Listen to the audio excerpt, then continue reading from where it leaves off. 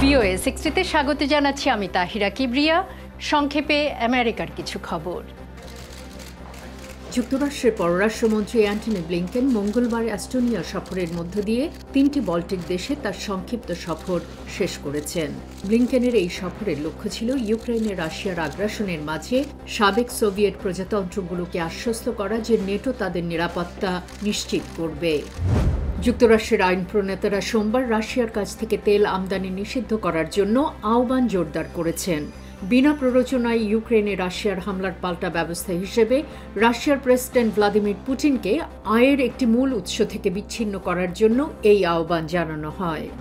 যুক্তরাষ্ট্রের প্রতিরক্ষা বিভাগ ঘোষণা করেছে যে ইউক্রেনে রাশিয়ার আগ্রাসনের মধ্যে নেটো মিত্রদের শক্তিশালী করার জন্য আমেরিকার প্রচেষ্টার সমর্থনে আরও পাঁচশো সেনা ইউরোপে যাচ্ছে। এর মাঝে কিছু সৈন্য জার্মানি, পোল্যান্ড বা রুমেনিয়া এবং গ্রিসে যাবে।